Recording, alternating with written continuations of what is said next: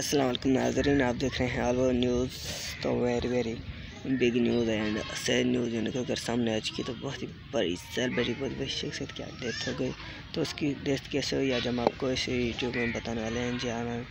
उसकी जो काफ़ी दिनों से तबीयत ख़राब होने की आज उसकी बहुत ज़्यादा तबीयत ख़राब हो गई और उसे जो है हॉस्पिटल ले जाया गया और हॉस्पिटल में डॉक्टर ने कहा नो मोर तो उसकी जो डेथ हो गई तो ये वीडियो सोशल मीडिया पर बहुत ऐसे वायरल होने लगी है जो अभी भी निकल कर सामने आ चुकी है। तो इसमें यह देखने के लिए हमारे चैनल को सब्सक्राइब करें, बेल आइकन दबा लाइक करके करें।